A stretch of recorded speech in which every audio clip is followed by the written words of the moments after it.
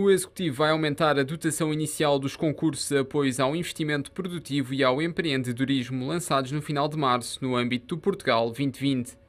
A decisão do Executivo é justificada pelo elevado número de projetos candidatos, 727, que representam um investimento total de 1,7 mil milhões de euros.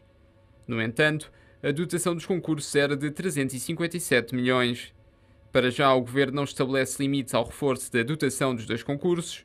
Tudo vai depender da qualidade e do mérito dos projetos apresentados. De acordo com as regras do novo quadro comunitário de apoio, todas as candidaturas são avaliadas e depois será atribuída uma nota de 1 a 5. E o Governo tem como objetivo garantir que todos os projetos classificados com uma nota igual ou superior a 3,5 terão financiamento comunitário.